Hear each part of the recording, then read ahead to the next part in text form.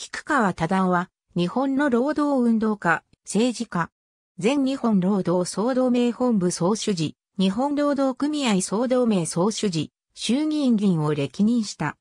愛媛県越智郡並方村に、魚問屋の長男として生まれる。旧制愛媛県立今治中学校を卒業後、商社勤務を経て、1920年、旧制第一高等学校に進学。一高在学中に社会主義思想に触れ、社会主義運動に身を捧げる決意をした。1923年に東京帝国大学経済学部に進学。学内で学生自治権拡大運動や関東大震災の被災者救援運動などを組織した。1926年、東大卒業後、日本労働総同盟に就職。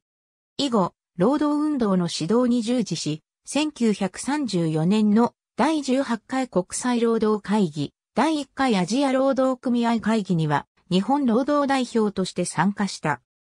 1936年には、全日本労働総同盟本部総主事となるが、戦争政策の進行に伴って、1941年に日本の労働組合が大日本産業法国会に集約されると、その中央本部文化部副部長に就任した。しかし、イデオロギーを理由に3ヶ月で追放され、戦時中は労働運動から身を引いた。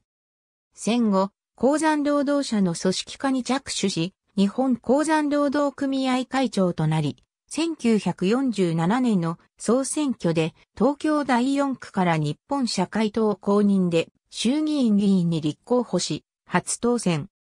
1951年に総同盟が総評参加をめぐって分裂した際には、金正米吉らと共に刷新派の中心として活動し、再建総同盟で総主事に就任する。